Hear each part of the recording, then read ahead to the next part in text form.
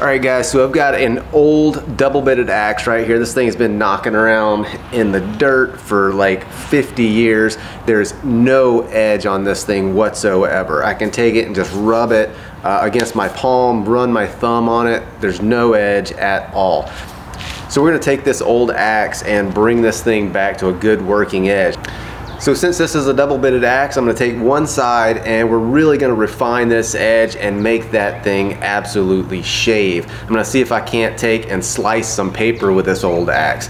The other side, I'm gonna not refine the edge quite so much. I'm gonna leave it a little bit toothy. It's still gonna be very sharp, but it's gonna be uh, taken to more of the stage where you would typically expect an axe to be sharpened to. I'm gonna be working with a very coarse tool, and that's this big old mill file. I'm gonna use this just to get a rough edge on it, and then we're gonna, just like with any other blade sharpening, I'm gonna work my way down through that coarseness until I get to a fairly fine stone.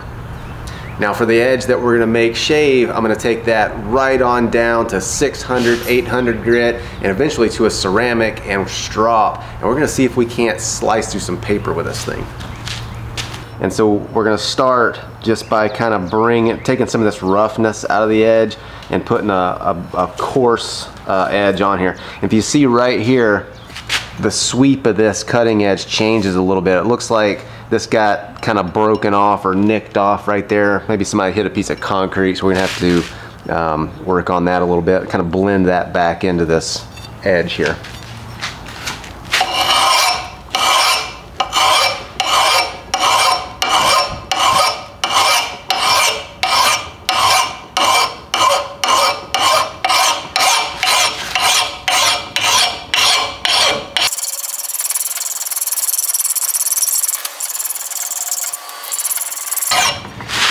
So there's a little bit of, there's some little dings right in here. So we're gonna have to get below all of that stuff.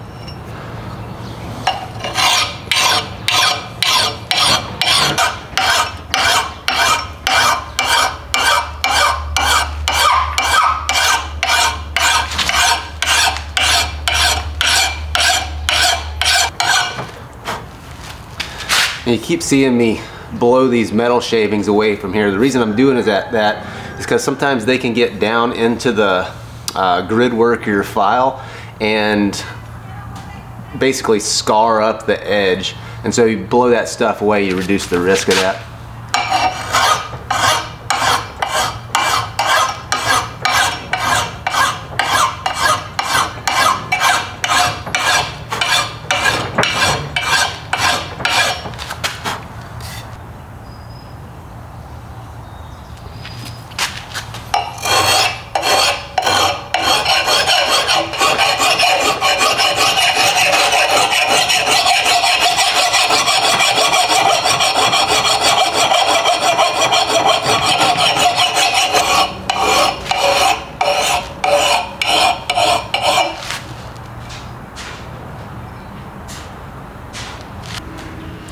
So what I'm feeling for here is on the opposite side that you're filing, you should eventually get a burr. And that's that very thin edge uh, on your blade that's starting to curl away from whatever you're sharpening with. So typically when you file from the blade out, you'll create a bigger burr than if you file from the outside towards the inside of the blade. that's not necessarily a good or a bad thing, it's just something to know. Now on this axe, I can definitely feel that burr all the way on both sides. So I'm gonna go ahead and flip this thing over and hopefully you can see that on the camera. All right, so on this axe head, right along here, you should be able to see this is a giant burr right along the edge there. That's that very thin edge that you're creating when the file, the side that you're filing or, or honing meets the other side. So we'll go ahead and take this burr off, clean this edge up, and then we'll be ready to move on to a finer honing stone.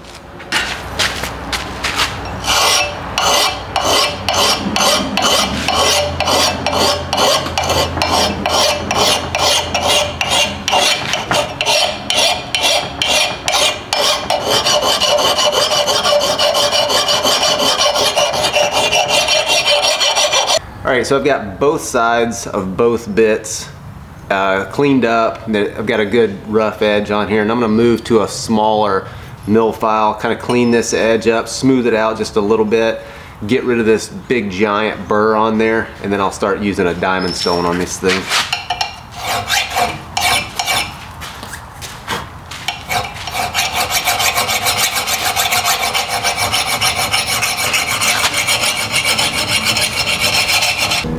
Can see this giant burr right in here. I'm gonna just take that off.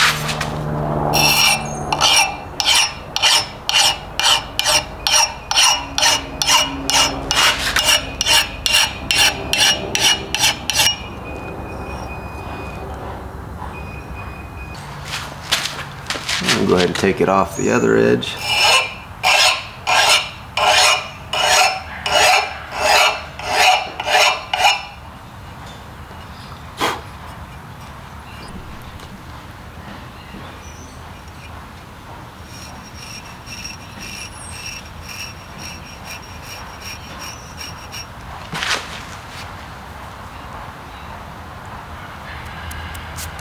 All right, so for all practical uses, this axe is done. Unless you're gonna be carving with this axe, there's no practical reason to take it any farther than this. It's actually shaving with nothing more than a couple of files and I don't know, maybe five minutes worth of work from absolutely no edge at all.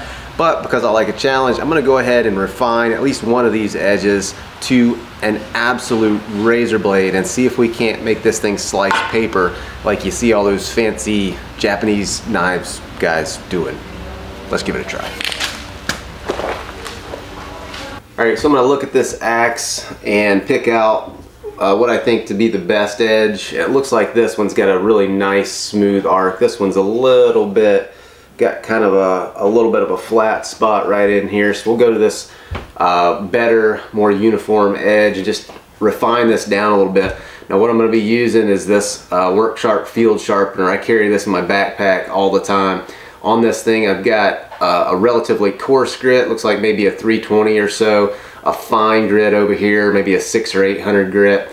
I've got a ceramic and then a little piece of leather uh, for stropping. So I'm going to start with this coarser side right here. We're gonna raise another burr on this thing, a smaller burr this time, and then we're gonna come to the other side, take that off, and then move on to our um, finer honing stone. Just gonna prop it up on a piece of wood like that so that I can maintain my bevel. And I'll start working with the coarser side of this.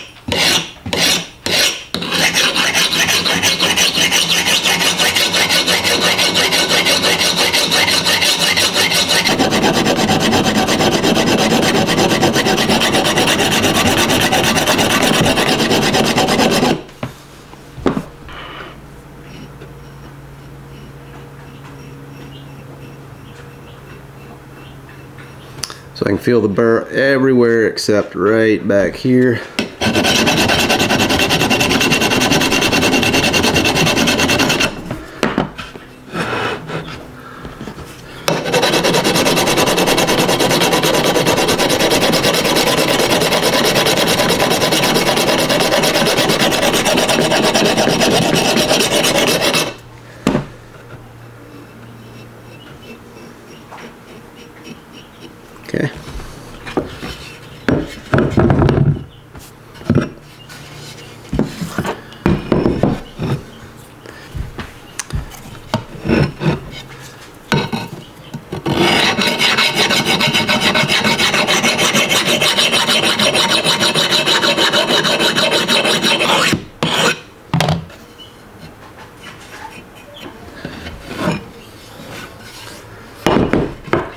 To move to my finer grit.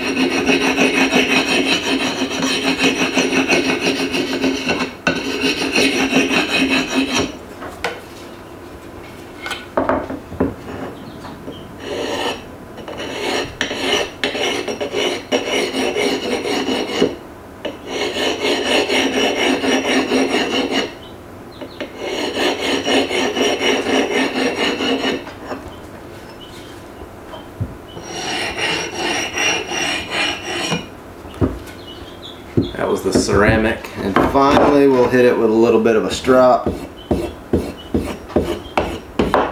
Always going away from the edge when you're stropping.